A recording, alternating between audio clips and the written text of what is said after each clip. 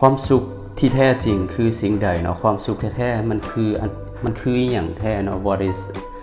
what is the happiness คือข้าพเจ้าเชื่อว่าแต่ละคนแต่ละท่านสามารถแสวงหา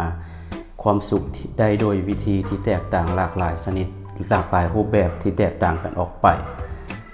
ก็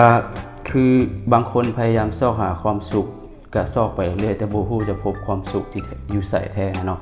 ท้จริงความสุขความนิยามของความสุขของแต่ละคนมันก็คือกับเฮาได้อยู่ได้กิน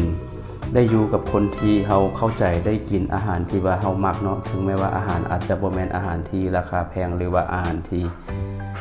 ดีที่สุด แต่ว่าเฮาพอใจในสิ่งที่เฮาเฮากินแล้วก็เฮาอยู่เฮามักคันเฮาก็จะมีความสุขเนาะอันนี้เป็นเป็นแบบวิธีหนึ่งที่ว่าเฮาสามารถหาความสุขได้แต่ว่าบางคนบางทานก็อ่า มีความทะทะเยอทะยานอยากไปอยู่ประเทศหรือว่าอยากไปอยู่บอนที่เจริญก้าวหน้าบอนเจริญสีวิไลเพียบพร้อมทุกสิ่งทุกอย่าง เพื่อแสวงหาความสุขแต่ว่าหาก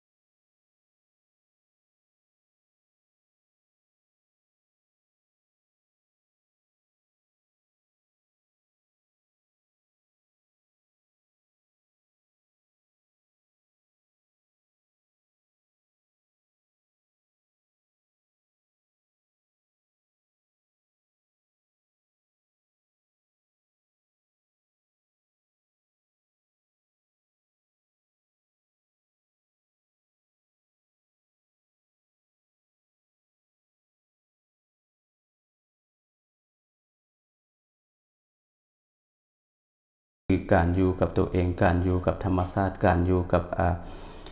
สถานที่ที่เฮาคิดว่าเฮาสบายใจที่สุด อันนั้นก็คือ